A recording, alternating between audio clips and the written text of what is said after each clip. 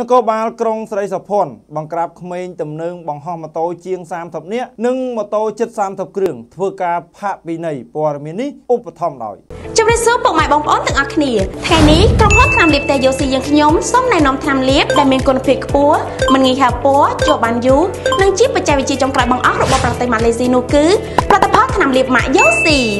ដូច្នេះសម្រាប់លោកអ្នកដែលមានចំណាប់អារម្មណ៍ឬចង់ដឹងព័ត៌មានបន្ថែមអាចទំនាក់ទំនងតាមរយៈលេខទូរស័ព្ទ068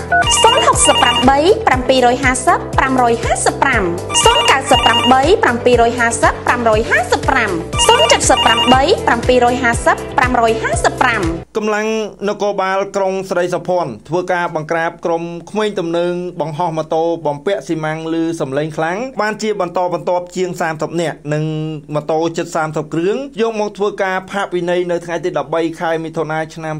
2022នៅអត្តការនគរបាលក្រុងស្រីសុភ័ណ្ឌលោកវរៈស្នេហ៍ ICD អត្តការក្រុងស្រីសុភ័ណ្ឌបានឲ្យដឹងថាដោយអនុវត្តតាមបទបញ្ជារបស់លោកឧត្តមស្នេហ៍តូសុតឡោះស្នងការនគរបាលខេត្តបន្ទាយមានជ័យកម្លាំងអន្តការនគរបាលក្រុងបានចុះឃ្លាំមើលក្នុងភូមិសាស្ត្រក្រុងស្រីសុភ័ណ្ឌនិងបង្ក្រាបបានក្មេងទំនើងប្រើប្រាស់ម៉ូតូកែច្នៃបំពង់ស៊ីម៉ាំងលន់លឺខ្លាំងខុសលក្ខណៈបច្ចេកទេសជិះរេចុះរេឡើងនិងបង្ហោះម៉ូតូបានសរុប26គ្រឿងនិងក្មេងទំនើងសរុប33នាក់លោកអធិការក្រុងបានឲ្យដឹងទៀតថាករណីកម្លាំងបានប្រើប្រាស់វិធានការអប់រំចំពោះក្មេងទំនើងនិងឲ្យដូរបំពង់ស៊ីម៉ាំងម៉ូតូដែលកែច្នៃចេញរៀបចំឲ្យត្រឹមត្រូវតាមលក្ខណៈបច្ចេកទេសដើមនិងបានប្រើប្រាស់វិធានការច្បាប់ដោយអនុវត្តតាមអនុក្រឹត្យលេខ39ស្តីពីការពិន័យអន្តរកាលចំពោះអំពើល្មើសនិងច្បាប់ចរាចរណ៍ផ្លូវគោកចំពោះ3មាត្រា6ចំណុចច3ត្រូវពិន័យ100,000រៀលល្មើសក្នុងចំណុចក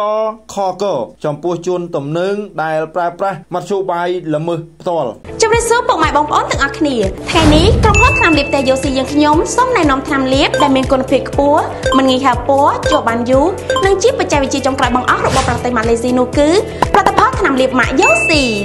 ឱកាសពិសេសឱកាសពិសេសក្រុមហ៊ុនថ្នាំលាបយូស៊ីបច្ចេកវិទ្យាចុងក្រោយបង្អស់របស់ប្រទេសម៉ាឡេស៊ីកំពុងត្រូវការបន្ថែមដំណើរចែកចាយប្រចាំតំបន់ជាច្រើនទៀត